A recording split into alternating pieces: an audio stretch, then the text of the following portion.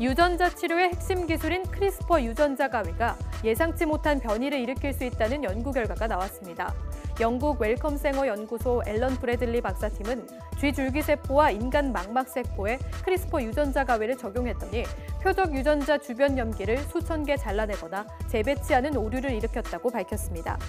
크리스퍼 유전자 가위는 교정하려는 목표 유전자를 정확히 찾아가 비교적 안정성이 높은 것으로 알려졌지만 이 같은 오류를 일으킬 수 있다는 사실이 확인된 것입니다. 연구팀은 크리스퍼 유전자 가위가 표적 유전자뿐만 아니라 주변의 다른 유전자들 또는 유전자 발현을 조절하는 염기 서열 등에 영향을 미쳐 세포 기능에도 변화를 일으킬 수 있다는 것을 보여주는 결과라고 설명했습니다.